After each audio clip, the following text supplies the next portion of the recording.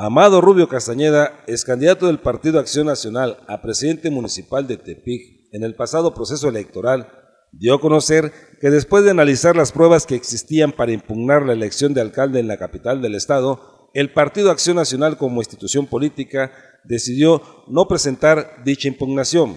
Se hizo eh, dentro del partido un intento para eh, elevar una impugnación no se encontraron elementos suficientes para jurídicamente soportables para hacer esta impugnación y se terminó no hacerla. Sin embargo, este, explicándole a la gente, hemos, he, tratado yo de acercarme a la gente que me apoyó en esta campaña, primero en mi equipo, luego a la gente que hemos estado desde este momento visitando para explicarle la situación, porque la gente se encuentra desconcertada al no encontrar elementos para, para impugnar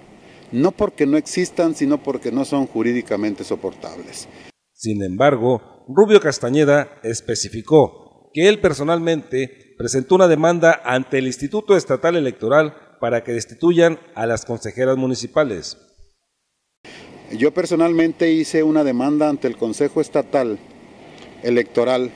demandando la incongruencia y la incapacidad de, los, de las consejeras municipales y pidiendo además su, destitución.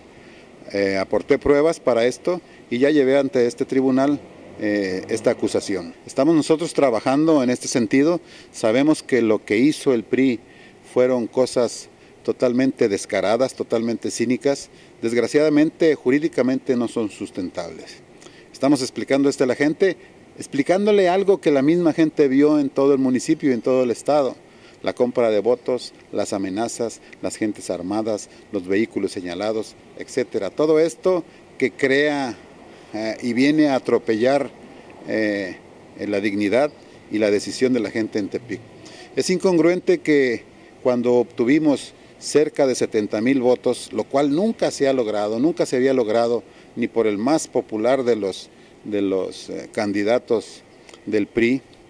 el más cercano fueron 57 mil votos hace dos o, tres, dos o tres elecciones. Sin embargo, una, una, una obtención de casi 70 mil votos ahora por nosotros, votos de adeveras, votos conseguidos con la voluntad de la gente, votos conseguidos con el proyecto, con la trayectoria que tuvimos como candidatos,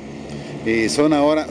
son ahora superados por una cantidad mínima, por supuesto, pero por votos sucios, por votos obtenidos con amenazas, por votos obtenidos en forma eh, económica comprados.